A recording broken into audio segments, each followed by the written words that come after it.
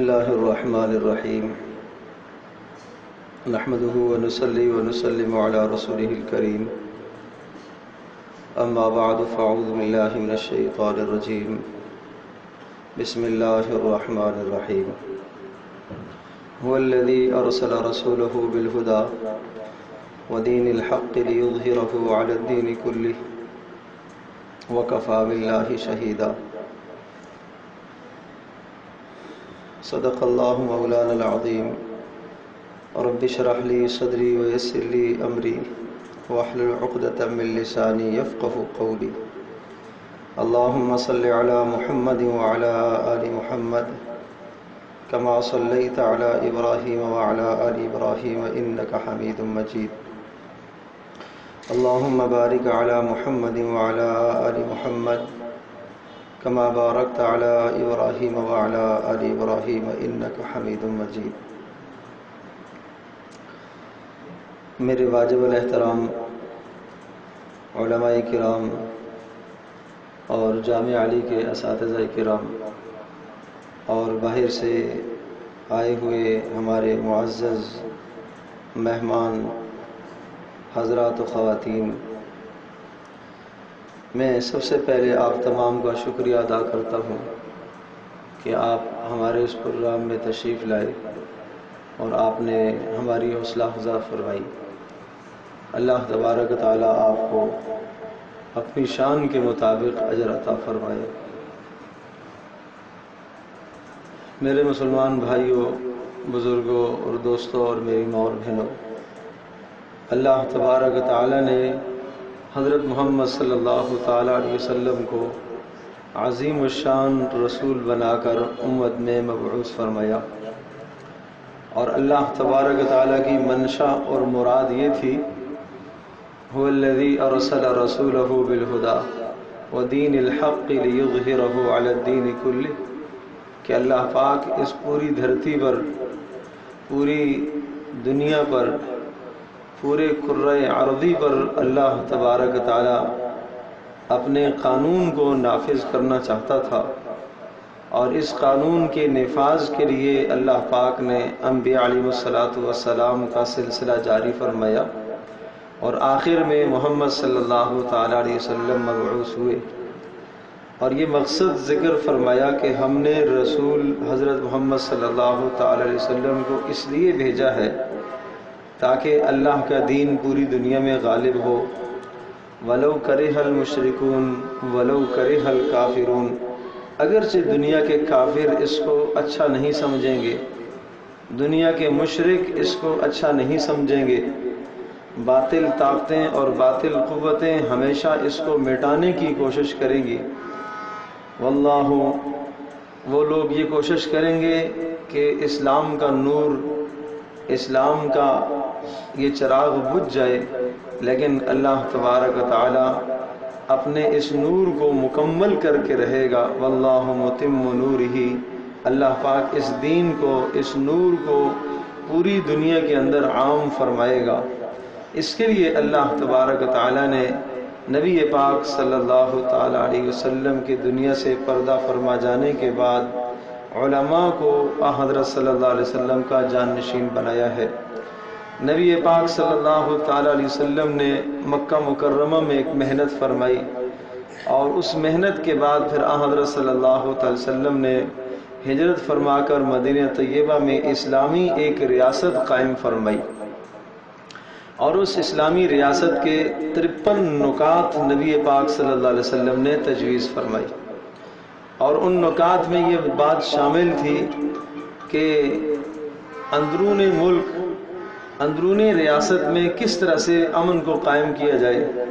خانہ جنگی کو ختم کیا جائے اور لسانیت کی بنیاد پر قوم اور نسل کی بنیاد پر جو اختلافات ہوتے ہیں ان اختلافات کا خاتمہ کیسے کیا جائے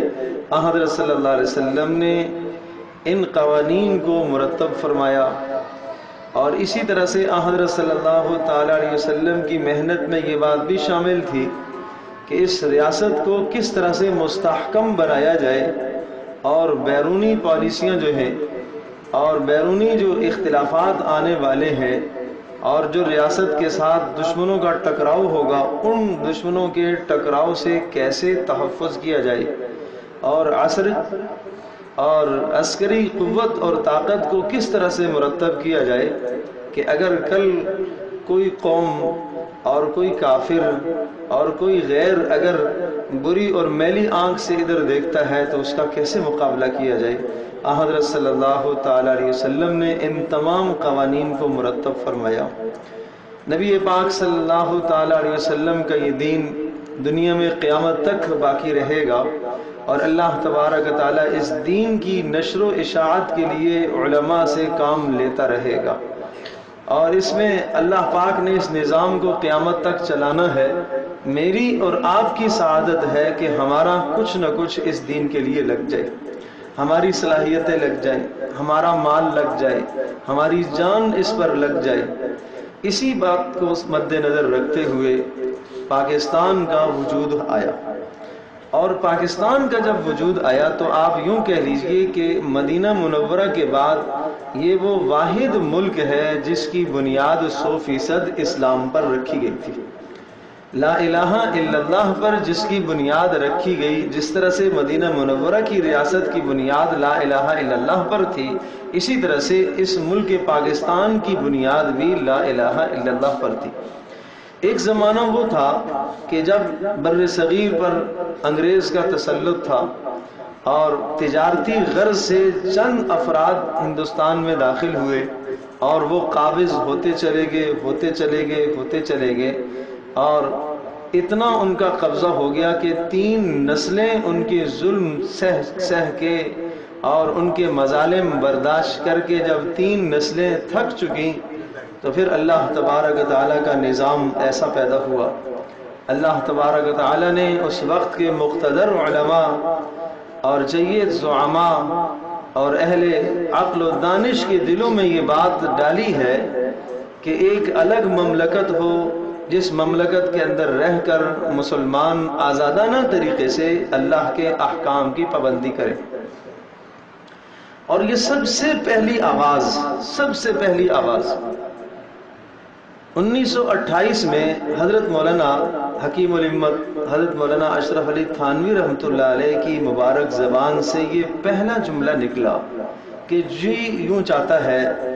میرا دل یوں چاہتا ہے کہ کوئی ایسا خطہ ہم مسلمانوں کو مل جائے کہ جہاں ہم رہ کر اللہ تبارک تعالیٰ کی بندگی کر سکے اور جہاں بیت المال کا نظام قائم ہو اور جہاں اسلام کے تمام احکام کا نفاذ کیا جائے جہاں عدالتیں سو فیصد اسلام کے مطابق ہوں جہاں کی عدالتیں سو فیصد رسول اکرم صلی اللہ علیہ وسلم کے بتائے ہوئے قوانین کے مطابق ہوں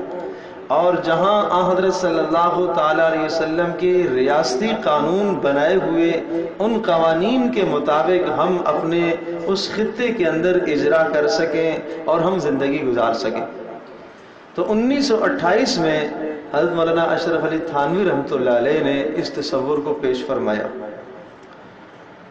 اور اللہ تبارک تعالیٰ نے ان کی اس تصور اور اس خیال کو مقبولیت عطا فرمائی پھر یہ تصور آگے بڑھتا چلا گیا آگے بڑھتا چلا گیا پھر انیس سو تیس میں پھر علامہ محمد اقبال رحمۃ اللہ علیہ نے اس تصور کو اور آگے بڑھایا اور عوام میں اور لوگوں میں اس تصور کو لے کر آئے کہ ہمیں ایک الگ ملک ملنا چاہیے اور آپ یہ بات سن کر حیران ہوں گے کہ اہل عقل اہل سمجھ کے دو طبقے بن گئے ایک بہت بڑا طبقہ علماء کا اس بات کا مخالف تھا کہ ملک ہرگز تقسیم نہ ہو اور ایک بہت بڑا طبقہ اس کا حمایتی تھا کہ نہیں ملک تقسیم ہونا چاہیے جو حضرات یہ کہتے تھے کہ ملک تقسیم نہ ہو ان کا خیال اور نقطہ نظر یہ تھا کہ اس ملک پر ایک عرصے سے صدیوں سے مسلمانوں کی حکومت چلی آ رہی ہے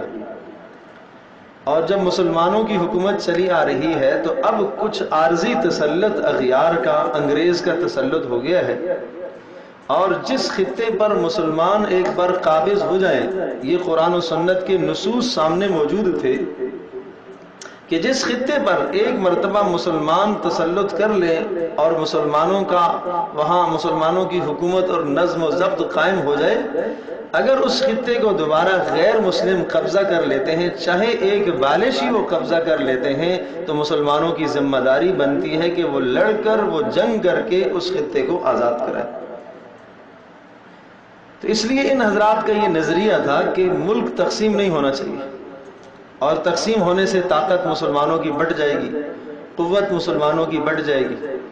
اور جو نعرہ لگ رہا تھا وہ اس طرح سے لگ رہا تھا کہ اگر اس بر صغیر کے چھ حصے ہیں تو چھ حصوں میں سے ایک حصہ آپ کو الگ دے دیا جائے گا اور باقی پانچ حصے ہندوؤں کے پاس ہی رہیں گے تو یہ بات علماء کو سخت کھٹکتی تھی اس کی مثال ایسی ہی ہے کہ ایک آدمی کے پاس چھ ایکڑ زمین ہو اور چھ اکڑ زمین پر جھگڑا ہو گیا ہو کوئی آدمی آ کے قابض ہو گیا ہو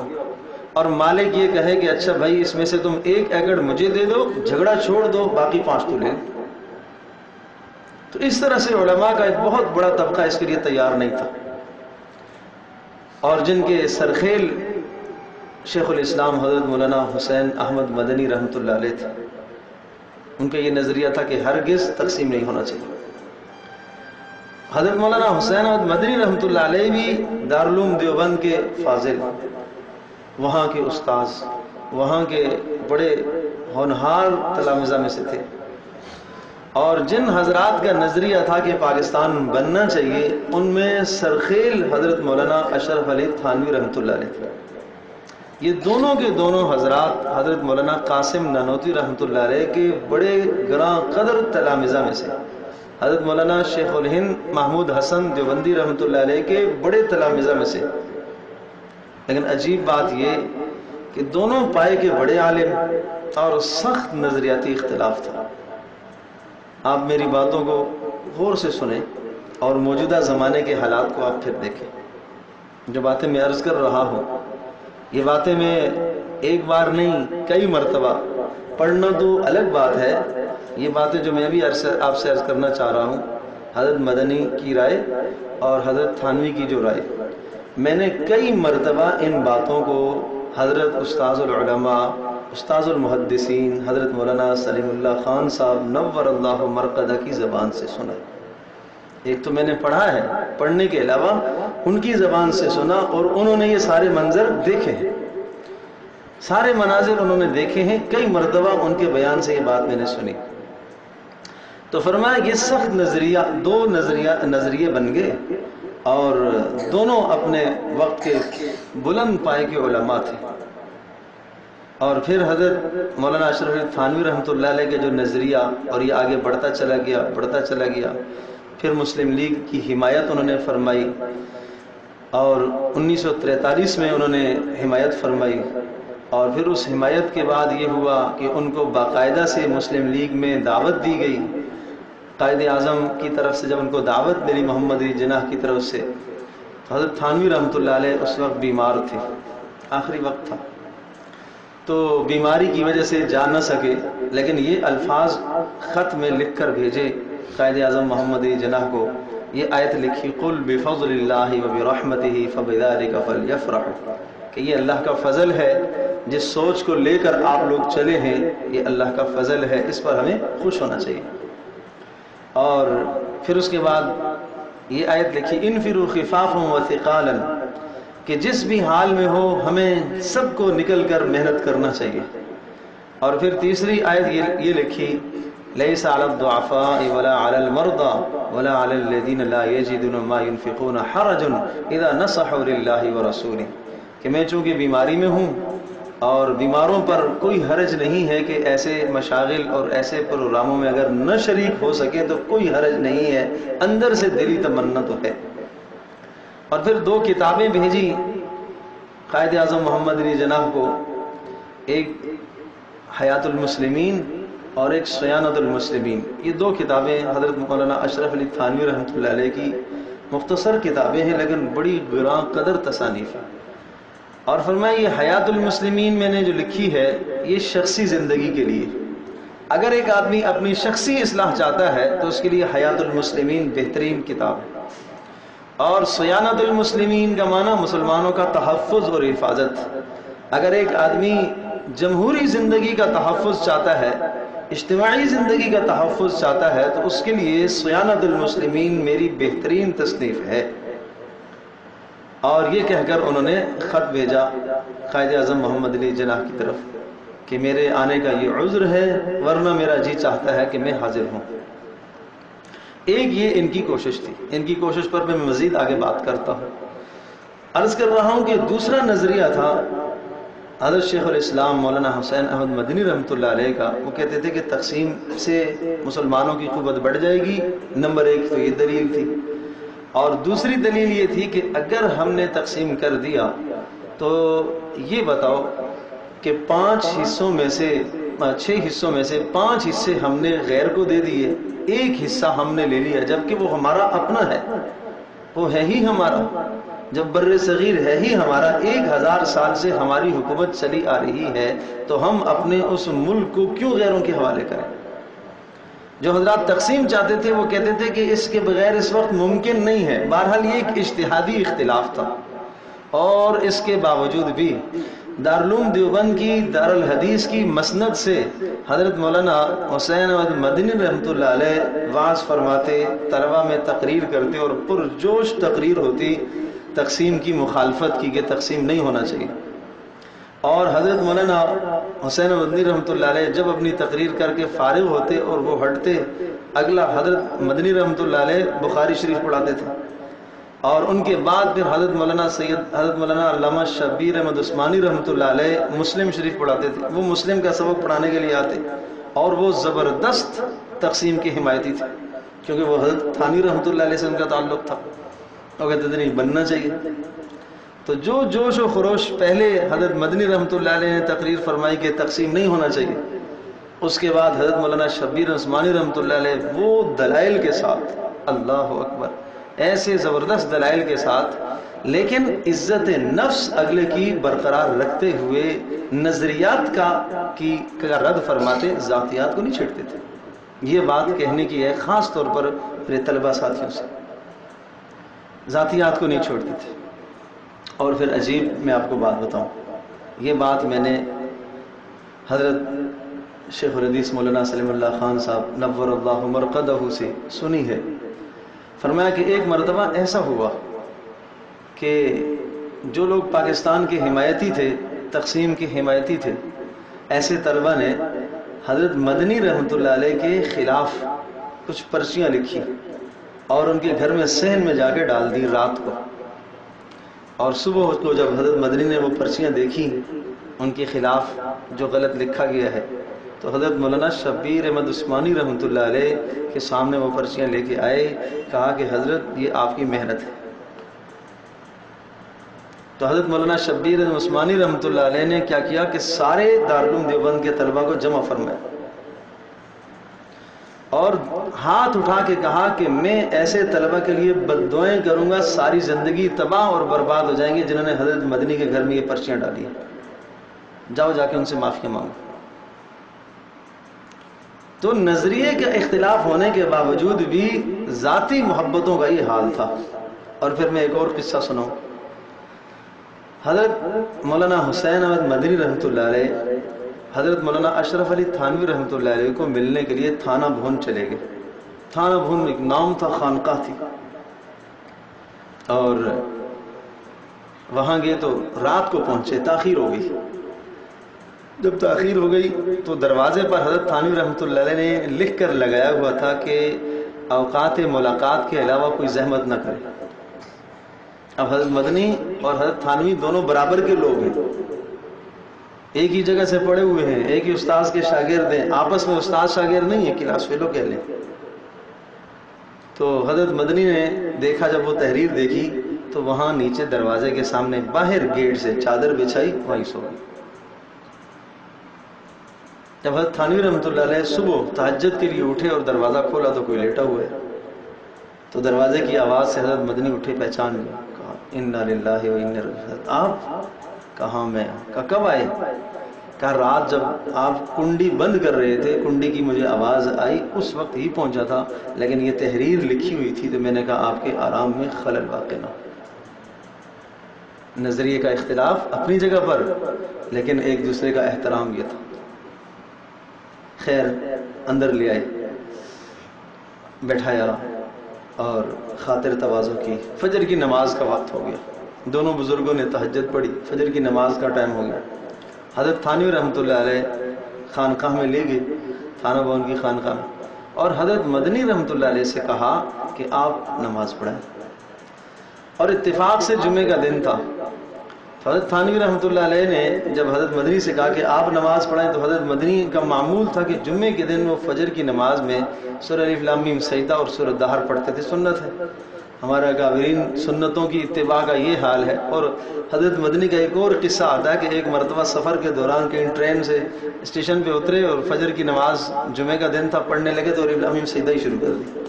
انہیں نہیں یاد رہا اتنا نمازوں کا ذوق تھا اور اللہ اکبر ایسا ذوق تھا کہ وہ علی میں سیدہ شروع کر دی انہیں نہیں احساس ہوا شعور ہوا کہ میں اسٹیشن پہ کھڑا ہوں ٹرین جو چلی جائے گی تو وہ تو نماز پڑھتے رہے اور پیچھے نمازی سارے نکل گئے ایک دو جو خادمین تھے وہ ساتھ رہے اور پھر وہ اگلی ٹرین پر آئے تو عرض کرنے کا مقصد یہ کہ فجر کی نماز اس طرح سے حضرت مدنی نے پڑھائی فجر کی نماز میں علی فلامی سجدہ پڑھی تو اس میں سجدہ آتا ہے عام طور پر جو آئمہ فجر کی نماز میں یہ پڑھتے ہیں تو وہ سجدے کا اعلان کر دیتے ہیں کہ بھئی پہلی رکعت میں سجدہ ہوگا حضرت مدنی نے اعلان نہیں فرمایا اس لیے نہیں فرمایا کہ حضرت تھانوی رحمت اللہ علیہ کی خانقاہ اور یہاں تو اتباع سنت کا اہتمام ہوگا لیکن حضرت تھانوی رحمت اللہ علیہ اس کا معمول نہیں تھا تو جب نماز سجدے کے لیے گئے تو پیچھے کچھ لوگوں کی نماز خراب ہو گئی اس لیے کہ اگر اعلان نہ ہو تو جو دیکھ رہا ہے اگلی صف میں وہ تو امام کے ساتھ سجدے میں چلا جائے گا تو اللہ اکبر جب آدمی کہتا ہے امام تو پیچھے والوں کو تو نہیں پتہ چلتا اللہ اکبر رکو کے لیے کیا ہے یا سجدے کے لیے کیا ہے لوگ سمجھے کہ سیدھے میں ہیں اور جب انہوں نے کہا سمیع اللہ علیہ وآلہ حمدہ تو پھر پتہ چلا کہ وہ تو رکو تھا تو اب اگر ایک رکو نے امام سے چھوٹ گیا تو نماز فاسد ہو جاتی خیر نماز کے ختم ہونے کے بعد حضرت مولانا اشرف علی تھانوی رحمت اللہ علیہ کے کسی خلیفہ نے جو حضرت سے بھی ہے خلافت بھی مل چکی ہے اس نے کہا کہ اتنے بڑے بزرگ ہیں نماز پڑھانی بھی نہیں آتی حضرت مولانا حسین احمد مدنی رحمۃ اللہ علیہ کے حوالے سے یہ جملہ کہا حضرت تھانوی رحمۃ اللہ علیہ تک یہ بات پہنچ گئی کہ میرے فلاں مرید نے اور نہ صرف مرید بلکہ میرا خلیفہ اس نے میرے ساتھی حضرت مولانا حسین مدنی رحمۃ اللہ علیہ کے بارے میں یہ گستاخی کا جملہ کہا حضرت نے اس کو بلایا پہلا کام تو یہ کیا کہ خلافت واپس لے لی یہ سلسلہ میرا تعلق آپ سے ختم اس نے بہت معافی مانگی ہاتھ جوڑے حضرت فرما ہیں مجھ سے کیا معافی ہو جس شخص کی توہین اور تزلیل تو نے کی ہے اس سے جا کے معافی مانگی تو وہاں سے پھر دیوبند چلے گئے وہ جو صاحب تھے دیوبند گئے اور دیوبند جا کر حضرت مدنی رحمت اللہ علیہ سے معافی مانگی اور واپس آئے اور واپس آ کر حضرت تھانوی سے کہا کہ حضرت میں معافی مانگ کے آ چکا ہوں تو حضرت نے یہ فرمایا کہ تم یہ بتاؤ کہ تم نے یہ جملہ ان سے یہ کہا تھا کہ میں نے آپ کی شان میں یہ یہ گستاخی کی ہے کہا نہیں یہ تو نہیں کہا تھا کہا جاؤ دوبارہ دوبارہ گئے پھر جا کر ان سے کہا کہ حضرت میں نے آپ کے حوالے سے یہ یہ جملہ بولا تھا کہ حضرت اتنے بڑے آدمی ہو گئے نماز پڑھانا نہیں آتی اس وجہ سے مجھے حضرت نے خانقاہ سے نکال دیا ہے آپ سفارش لکھ دیں حضرت نے کہا بھائی میں نے آپ کو معاف کر دیا ہے بڑے ظرف والے لوگ تھے تو پھر واپس آئے اور حضرت تھانوی اللہ علیہ سے کہا کہ حضرت انہوں نے معاف کر دیا ہے پھر تیسری بار کہ نہیں جاؤ لکھوا کر لاؤ تحریری لے کے آؤ کہ آپ نے یہ جملہ بولا اور انہوں نے آپ کو معاف کر دیا تو پھر میرے پاس گنجائش ہے ورنہ میرے پاس مت آئیے گا پھر وہ صاحب گئے اور جا کر دوبارہ سے حضرت مدنی رحمۃ اللہ علیہ سے درخواست کی اور حضرت مدنی نے پھر پرچی لکھی اس پرچی پر یہ جملہ بھی لکھا ہوا تھا کہ اس نے یہ یہ بولا ہے کہ میں نے آپ کی شان میں یوں گستاخی کی ہے تو حضرت مدنی رحمۃ اللہ علیہ کا جملہ تھا کہ اس نے جو جملہ میرے تارے میں کہا ہے میں ایسے درگزر کرتا ہوں معاف کرتا ہوں اگر آخرت میں اللہ پاک نے میری بخشش فرما دی تو اس جملے سے میری صحت پر کوئی اثر نہیں پڑتا اور اگر اللہ پاک نے میری بخشش نہ فرمائی تو پھر یہ ایک نہیں اس جیسے ہزاروں جملے اور بھی ہوں تھوڑے اللہ تو پھر حضرت تھانوی رحمت اللہ علیہ کے پاس آئے اور انہوں نے آ کر کہا کہ پرچی دکھائی تو پھر حضرت نے انہیں قبول فرمایا تو میں یہ عرض کر رہا ہوں کہ سخت نظریاتی اختلاف ہونے کے باوجود بھی ایک دوسرے کی عزتیں محفوظ تھی ایک دوسرے کی عزتیں نہیں لوٹتے تھے ایک دوسرے کے خلاف غیبت سننا گوارہ نہیں کرتے تھے تو اختلاف رائے ہوتا ہے اور یہ ہوتا رہے گا اور یہ قیامت تک سلسلہ رہے گا لیکن اختلاف رائے سے جب بات آ جاتی ہے ذاتیات پر تو پھر دونوں کے دونوں طبقے دین سے ہٹ جاتے ہیں اعتدال سے ہٹ جاتے ہیں تو اتنے بلند پائے کے لوگ تھے اتنا سخت نظریاتی اختلاف ہونے کے باوجود بہمی محبتوں کا یہ حال تھا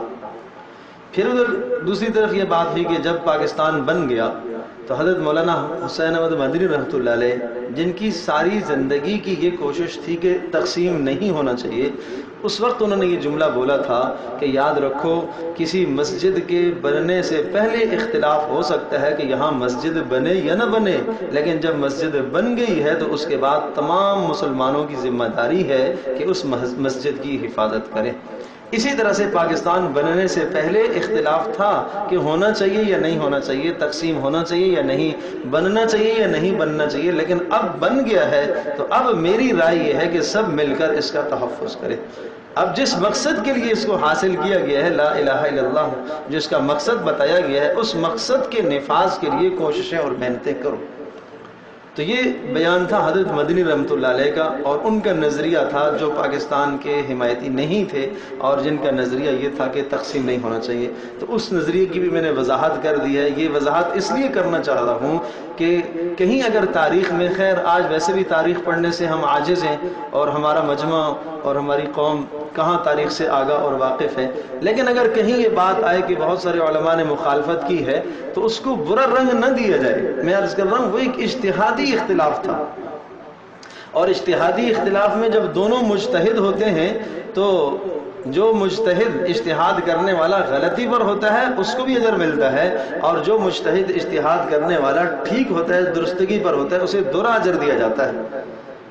اب دوسری طرف آتے ہیں کہ حضرت مولانا اشرف علی تھانوی رحمۃ اللہ علیہ میں نے کیا کہ سب سے پہلا نظریہ تصور پاکستان کے بننے کا حضرت مولانا اشرف علی تھانوی اللہ علیہ نے پیش فرمایا پھر اس تصور کو پروان چڑھتے چڑھتے چڑھتے پھر آگے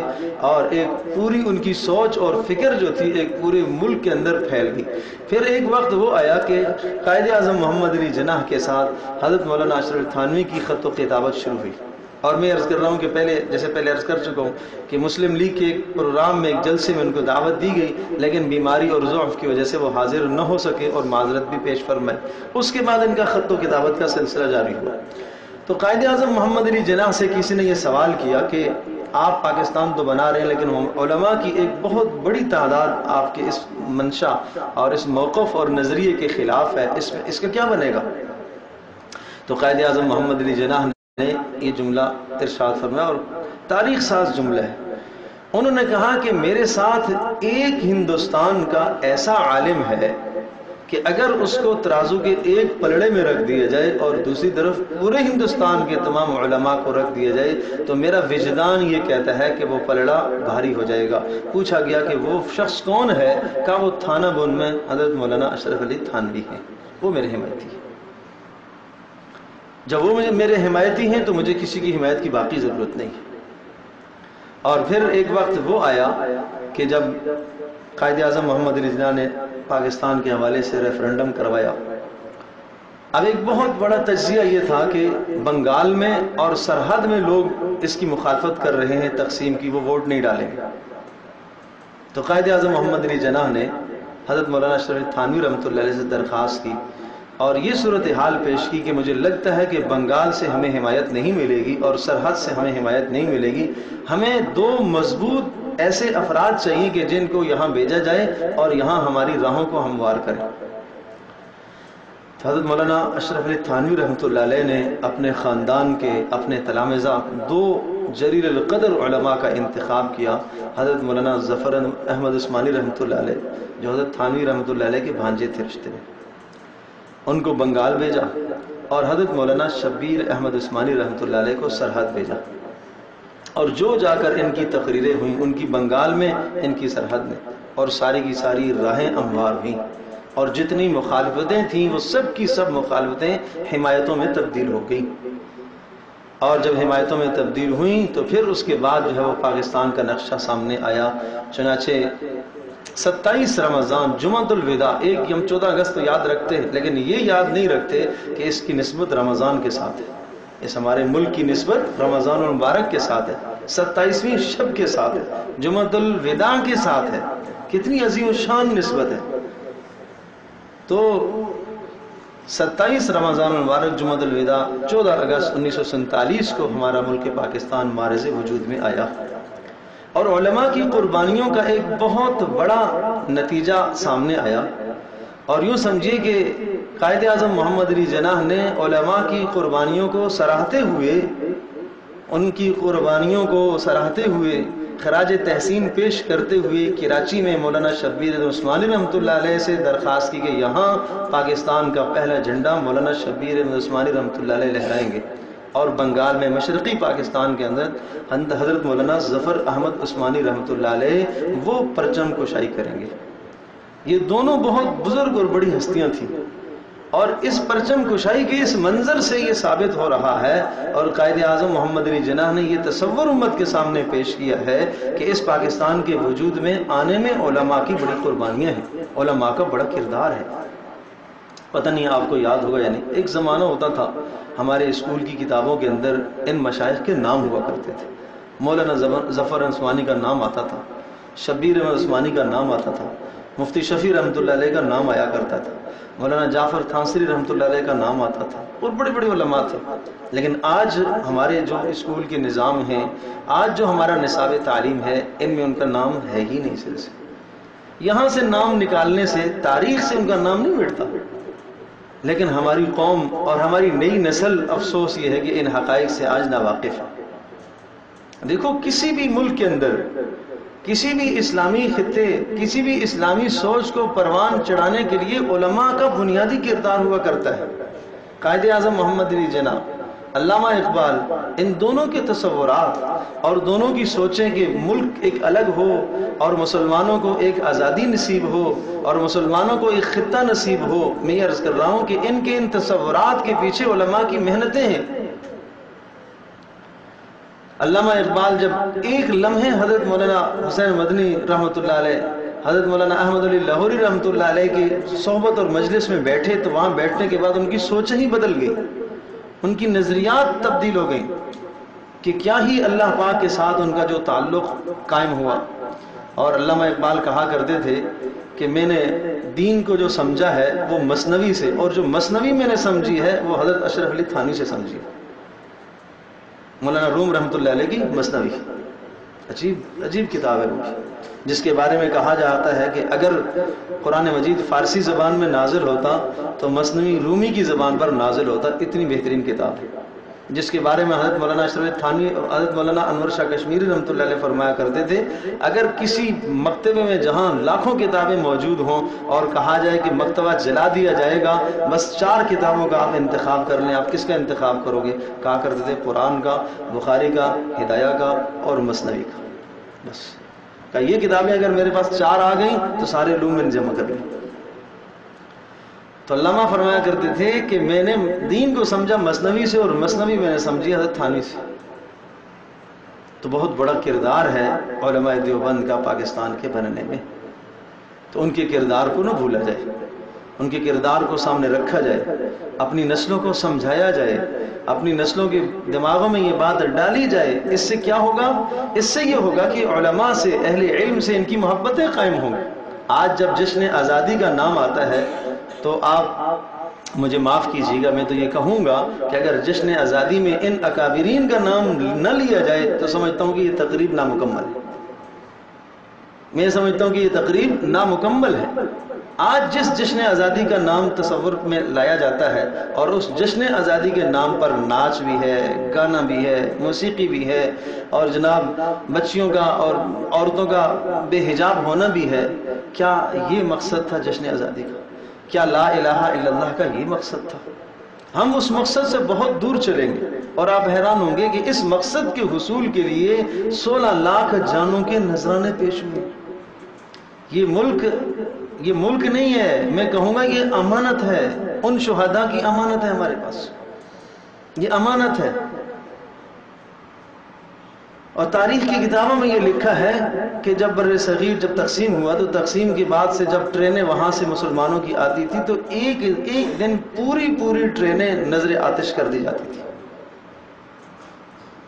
اور لاہور کا دریا راوی سرخ ہو گیا خون کی وجہ سے اس میں کیا تھا اس میں مسلمانوں کے خونوں کو ڈالا گیا مسلمانوں کو قتل کر کے ڈالا گیا بیٹیوں کی عزتیں لوٹی گئی ستر ہزار بیٹیوں کی عزتوں کو لوٹا گیا آج قربانیوں کوئی نہیں نہیں گنتا تصور میں لاتا اور جب تحریک چلی اور پاکستان کے بننے کی بات ہوئی تو ایک ایک دن ہزاروں ہزاروں علماء کو توپ کے دہانوں پر باندھ کر کے توپ سے اڑا دیا جاتا آپ تصور تو کرو یہ مجھ سے پہلے صاحب بیان کر رہے تھے حضرت مولانا جعفر تھانسری رحمت اللہ علیہ جو اپنا بیان لکھتے ہیں آپ یہ تاریخ کی کتابیں دیکھیں کہ لوہے کے پنجروں میں بند کر دیا جاتا اور تین تین ماہ چار چار ماہ ان پنجروں کے اندر وہ بند رہے کیا ہے جرم تھا ایک جرم تھا آزادی آزادی ہم آزاد ملک چاہتے ہیں ہم آزاد مملکت چاہتے ہیں اس ملک کی آزادی کے لیے اتنی بڑی انہوں نے قربانیاں دی ہیں اور کتنے اسی حالت میں شہید ہو گئے تو میرے عزیز اور بزرگوں قربانیوں کو ہم نظر انداز نہ کریں ان قربانیوں کو ہم نہ بھولیں اور جب بھی یہ دن آئے تو ہم نئے عزم اور نئے ولولے کے ساتھ اپنی جان سے شروع کریں کم از کم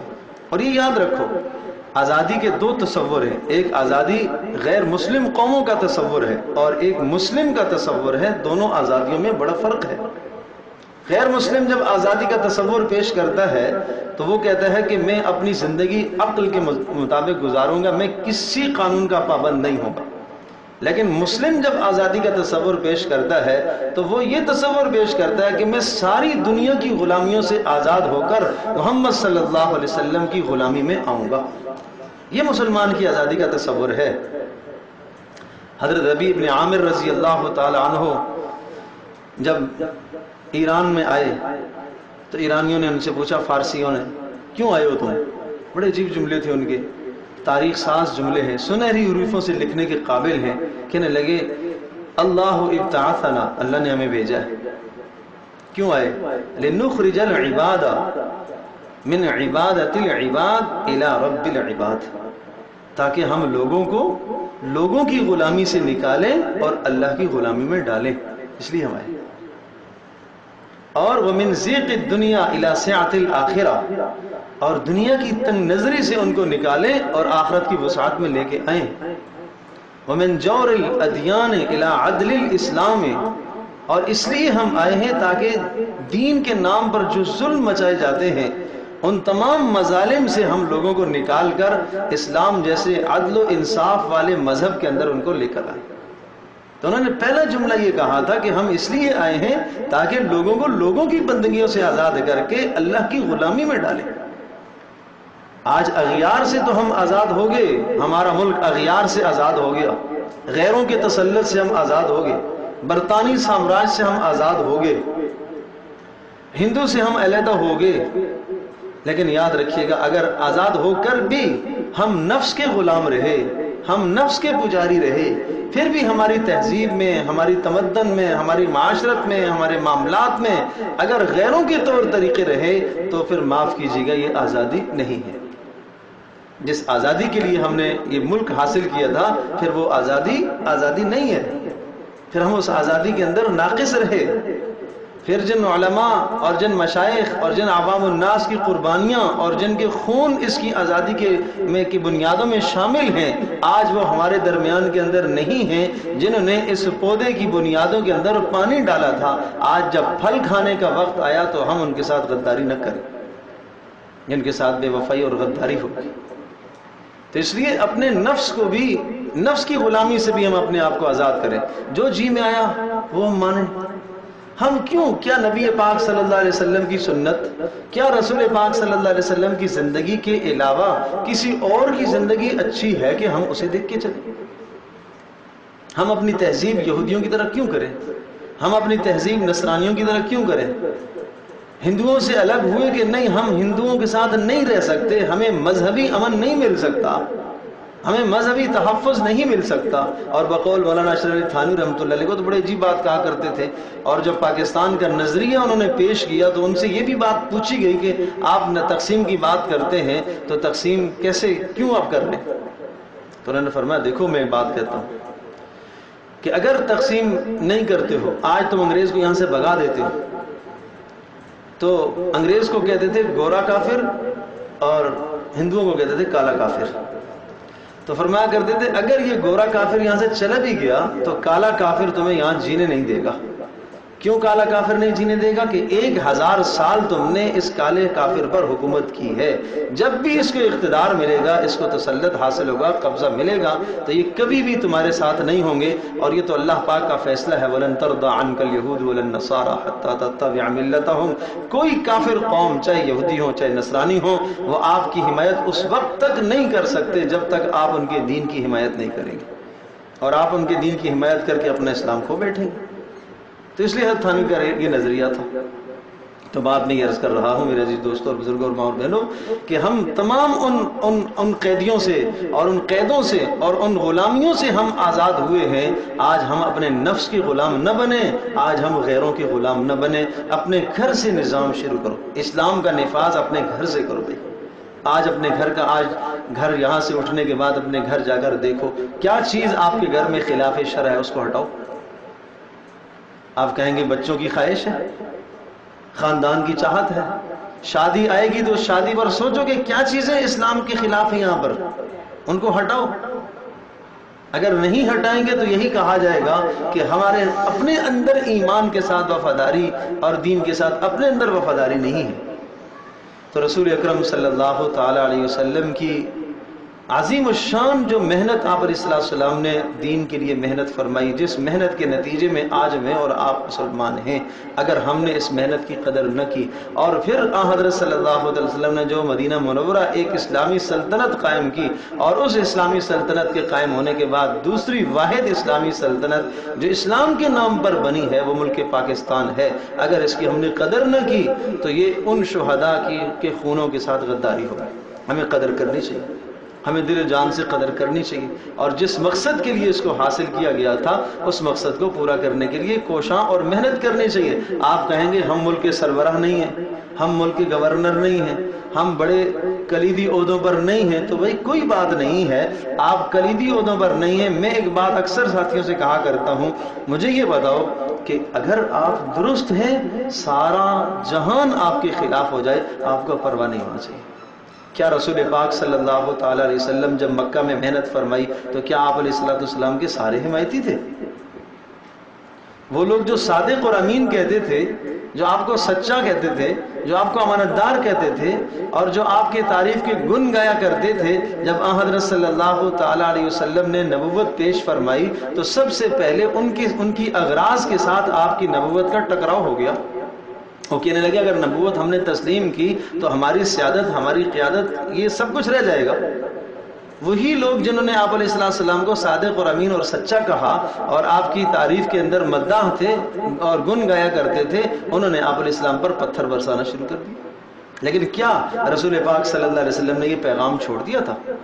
کیا آپ علیہ السلام والسلام وہ وقت شاید آپ کا جملہ کہ آپ کو چچا ابو طالب نے کہا کہ کچھ نرمی کرو اور یہ قریش کے سردار سارے آئے بیٹھے ہیں اور یہ کہتے ہیں کچھ ہلکا کرو آپ کام کو اور آپ اتنی سختی نہ کرو تو آپ نے رشاد فرمایا کہ اگر اے چچا جان یہ سورج کو اتار کے میرے سیدھے ہاتھ میں رکھ دیں اور چاند کو اتار کے میرے الٹے ہاتھ میں رکھ دیں جب بھی میں یہ دین نہیں چھوڑ سکتا ہوں تو جب آپ اپنے گھر کے اندر اپنے خاندان اور اپنے معاشرے کے اندر دین پر چل رہے ہیں اور آپ سو فیصد مطمئن ہیں کہ میں دین پر چل رہا ہوں تو پھر سارا معاشرہ مخالف ہو جائے آپ کیوں پرواہ کرتے ہو کسی ملامت کرنے والے کی ملامت کی کیوں پرواہ کرتے ہو ہم پھر کیوں سوچیں ہم پھر کیوں غیروں کو دیکھیں کہ نہیں لوگ کیا کہیں گے یہ لوگ کیا کہنے کا تصور دو ختم کر دو اپنے گھر سے آغاز کرو اپنے جسم سے آغاز کرو اپنے بچوں سے آغاز کرو اپنی نئی نسل کی تربیت اچھی طرح سے کرو جن کو اچھی تربیت ہوگی تو وہ ملک کے وفادار بنیں گے اور پھر انہی نسلوں میں سے آج جو بچے اس وقت ہمارے سامنے بیٹھے ہوئے ہیں دس سال پندرہ سال بیس سال کی عمر اور یہی انہی اداروں سے پڑھ کر عصری اداروں سے پڑھ کر انہی اداروں سے پڑھ کر انہوں نے کل برسر اقتدار بننا ہے انہوں نے اقتدار پر آنا ہے اگر ان کی صحیح نشو نما اور صحیح تربیت نہ ہوئی تو جب یہ اقتدار پر آئیں گے تو یہ خائن بنیں گے پہلے گھر کے اندر چھوٹے خیانت والے چھوٹے خائن تھے اور اقتدار پر آئیں گے تو بڑے خیانت کرنے والے ہوں گے گھر کے اندر چھوٹے جھوٹے تھے اور جب اقتدار پر آئیں گے تو بڑے جھوٹے ہوں گے تو تربیت اصل چیز ہے ماؤں بہنوں کا کام ہے اصل اندر کی تربیت کرنا تو اس لیے ہماری سوچ بھی ہے کہ عصری ادارے جو ہمارے ہیں عصری ادارے اور دینی اداروں کے اندر جو ہمارے علوم پڑھائے جاتے ہیں ان دونوں کا حسین امتزاج ہو جائے اور جو ہمارے عصری اداروں سے پڑھنے والے لوگ ہیں چاہے وہ ڈاکٹر بنے چاہے وہ انجینئر بنے چاہے وہ لائر بنے دنیا کا کوئی بھی انسان بنے لیکن پہلے وہ مسلمان بنے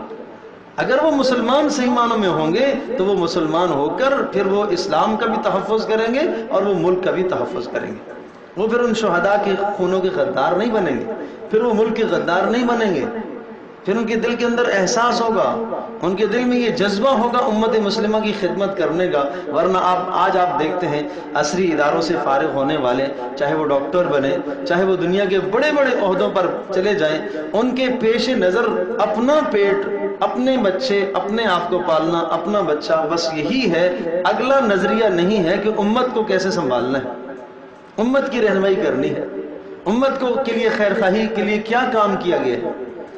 تو اس لیے میرا دوستوں بزرگوں ایسی محنت کی ضرورت ہے اس طرح سے ہم اپنی نسلوں کی تربیت کریں اور سب سے پہلے ہم اس عہد کو پھر دہراتے ہیں کہ جس عہد کے لیے جو عہد پہلے شروع میں لگا تھا کہ پاکستان کا مطلب کیا لا الہ الا اللہ لا الہ الا اللہ کا مطلب سمجھتے ہو آپ جانتے ہو لا الہ الا اللہ مدینہ منورہ جب یہ قائم ہوا آپ علیہ السلام نے جب مکہ میں پہلی دعوت قوم کے سامنے رکھی کیا دعوت تھی لا الہ الا اللہ اور وہ جانتے تھے نا کہ لا الہ الا اللہ کا مطلب یہ ہے کہ اب ہمارا مسجود اللہ اب ہمارا معبود اللہ اب ہمارا مشکل کشاں اللہ اب ہمارا حاجت رواں اللہ اب ہمارے نفع اور نقصان کا مالک اللہ ہے اللہ ہے اور محمد الرسول اللہ اب ہمارے ہادی اب ہمارے رہبر اب ہمارے رہنما اب ہمارے قائد اب ہمارے لیڈر محمد صلی اللہ علیہ وسلم ہونے چاہیے اب مجھے ان کو فالو کر کے چلنا ہے اب مجھے ان کی زندگی کو سامنے رکھ کر چلنا ہے مجھے ان کی اتباع کرنی ہے یہ مقصد ہے لا الہ الا اللہ محمد رسول اللہ کا اللہ تبارک تعالی ہم سب کو اس مقصد کی کامیابی میں بہت کامیابیاں نصیب فرمائے اور آگے بڑھنے کی ہمیں اللہ پاک توفیق نصیب فرمائے الحمدللہ رب العالمین والصلاة والسلام علی سید الانبیاء والمرسلین وعلى آلہ وصحبہ و امتی اجمعین ربنا آتنا في الدنيا حسنة وفي الآخرة حسنة وقنا عذاب النار اللهم احسن عاقبتنا في الأمور كلها واجرنا من خزي الدنيا وعذاب الآخرة اے رحم الراحمین اے رحم الراحمین ہم سب کا بیٹھنا قبول فرما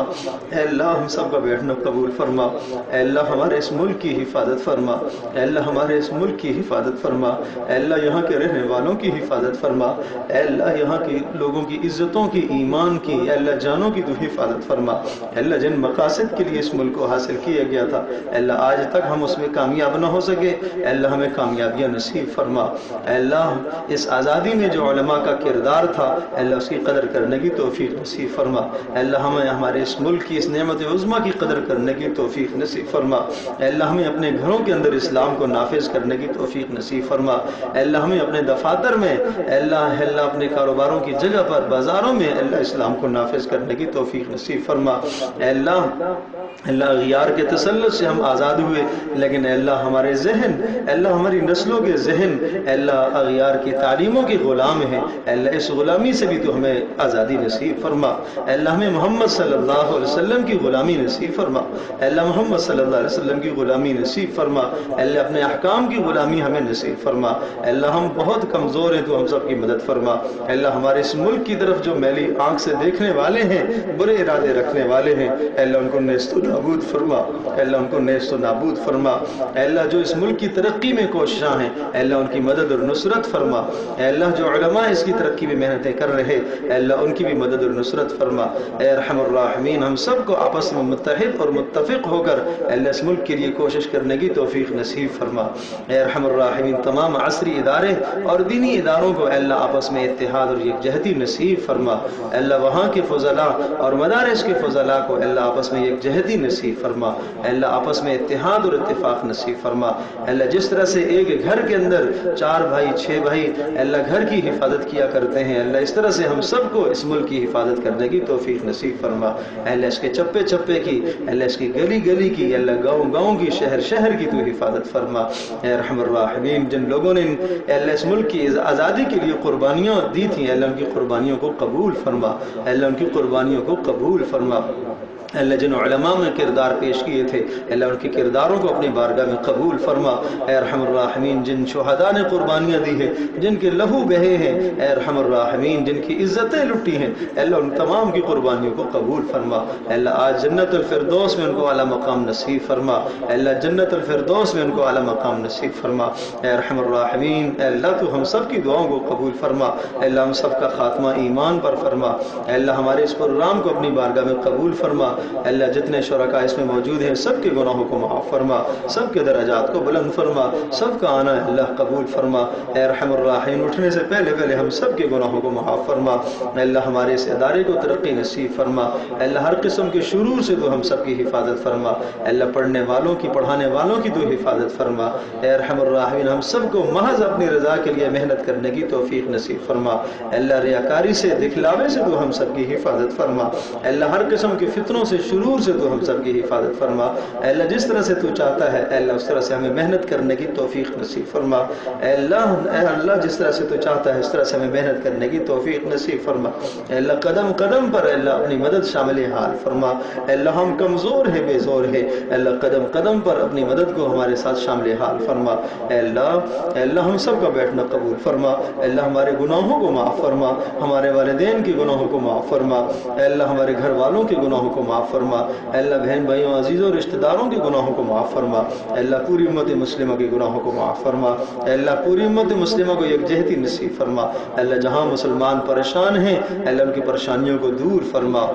اے اللہ جہاں غیروں کے تسلط میں ہیں اے اللہ ان کو آزادیاں نصیب فرما اے اللہ جو بے گناہ جیلوں میں پڑے ہوئے ہیں اے اللہ ان کو آزادیاں اور رہیاں نصیب فرما اے اللہ جو غیروں کے تسلط میں ہیں اے اللہ ان کو آزادیاں نصیب فرما اے اللہ جہاں اے اللہ مسلمانوں پر مظالم ڈھائے جا رہے ہیں اللہ وہاں مسلمانوں کو طاقت اور قوت نصیب فرما اے اللہ برما میں مسلمانوں کو قوت نصیب فرما اے اللہ فلسطین میں شام میں اللہ مسلمانوں کو قوت نصیب فرما اے اللہ ملک کے اللہ اس خطے میں اے اللہ جہاں دنیا میں کہیں اے اللہ مسلمان کمزور ہیں اے اللہ سب کو قوت نصیب فرما اے اللہ سب کی مدد فرما اے اللہ ہماری دعاؤں کو قبول فرما اے اللہ نبی پاک صلی اللہ علیہ وسلم نے جو آپ سے خیریں مانگی وہ ساری خیریں ہم سب کو نصیب فرما اے اللہ جن شرور سے پناہ چاہی ہے ان تمام شرور اور برائیوں سے اللہ ہم سب کی حفاظت فرما اللہ ہماری دعاوں کو قبول فرما وصلی اللہ تعالی خیر خلق محمد صلی اللہ علیہ وسلم